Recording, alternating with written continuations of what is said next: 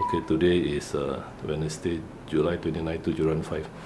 This puppy, five months old, right, female, bought from Pasir Ris farm, uh, comes in with the complaint of coughing, right. Uh, thi- this is a cough. This is called the tracheal bronchitis. Uh, uh, this is an old man's cough. The, the cough happens about uh, one week after purchase, right? Yeah.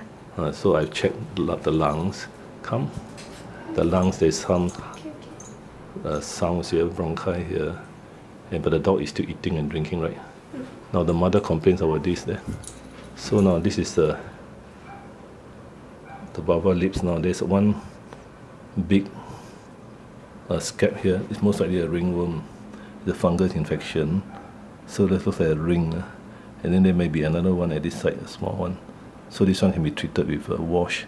Then she must check whether any more or not.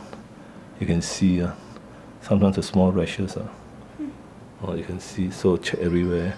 So I will teach her how to wash with the antifungus and then the antibiotics.